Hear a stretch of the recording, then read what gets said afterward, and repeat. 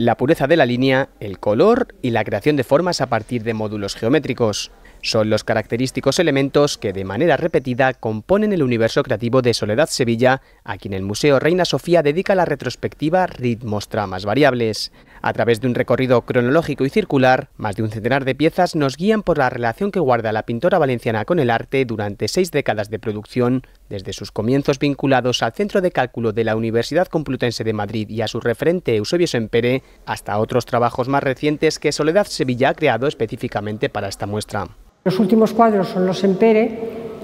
dedicados a Sempere, que está un cuadrito pequeño que hay también ahí en la sala, que es que yo me lo compré que fue amigo mío, que lo admiro mucho y que a partir de ese cuadrito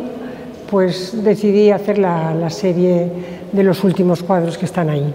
La muestra da comienzo en los años 60 y 70 con sus primeras obras de abstracción geométrica como Mondrian o grandes telas donde juega con la trama, la línea y la repetición. Tras su paso por la Universidad de Harvard a principios de los 80, inicia una senda más subjetiva, espacial y emocional donde realiza algunas de sus obras más emblemáticas como las series Las Meninas, basada en el cuadro de Velázquez, o La Alhambra, una reinterpretación de este conjunto monumental. Esta pintura expansiva antecede a las instalaciones tridimensionales marcadas por sus experiencias sensibles. En esta exposición podemos ver la instalación de las 1500 mariposas El tiempo vuela, otra intervención creada para esta muestra Donde estaba la línea, o documentación de instalaciones emblemáticas como Leche y Sangre o Mayo 1904-1992, la recreación de un pórtico renacentista del castillo de Vélez Blanco. La comisaria de la exposición, Isabel Tejeda, explica las capacidades técnicas del artista. Es una magnífica pintora, pero sobre todo tiene una capacidad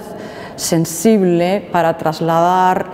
eh, las emociones a la, pintura y esa capacidad de eh, generar eh, o, de intentar trasladar esas emociones a la pintura o a la instalación, es decir, que la pintura y la instalación sean el puente de su emoción a la del espectador o la espectadora, creo que es clave en su trabajo. La luz y las cubiertas vegetales cobran especial protagonismo en sus luminosas obras de los años 90, Díptico de Valencia u Hotel Triunfo, y en la serie Insomnios de los años 2000, donde la oscuridad se adueña de su obra. Finalmente, en las series más recientes como Horizontes u Horizontes Blancos y las obras inéditas de Esperando a Sempere que el artista Premio Velázquez 2020 ha realizado para esta exposición, conectan de nuevo al espectador con los orígenes de una soledad Sevilla que no busca ya la perfección y que a través de fallos, ondulaciones o exceso de tinta introduce su propio cuerpo en la obra.